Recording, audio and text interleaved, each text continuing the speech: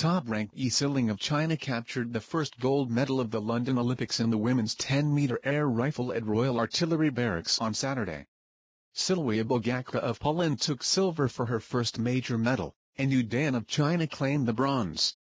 Yi underlined her overwhelming favorite status, but it took a mistake from Bogacka in the eighth round of the 10-shot final to finally edge ahead of the unheralded Pole.